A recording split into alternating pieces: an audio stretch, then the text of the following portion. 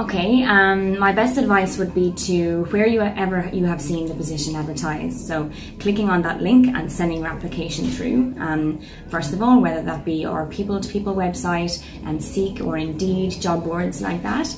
Um, Next thing would definitely be to check that you're actually attaching your CV. So we've received various applications where it's not actually a resume um, that's attached.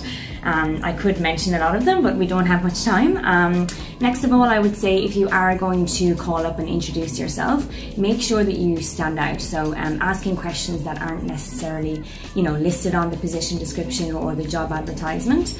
Um, and then I would definitely say in this market, it's very competitive in Sydney. So don't delay your application. If you are interested, just send your application through.